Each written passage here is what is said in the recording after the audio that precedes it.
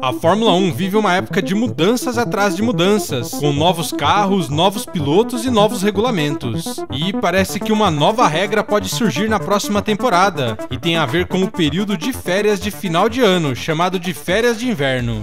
Várias fontes têm afirmado que, como 2023 será o ano com o maior número de corridas da história, com 24 planejadas, a FIA está em conversas com as equipes para programar duas semanas de pausa absoluta no final do ano. Algo semelhante ao que acontece no meio da temporada, onde as equipes não podem trabalhar em seus carros e seus funcionários devem ser dispensados para descansar.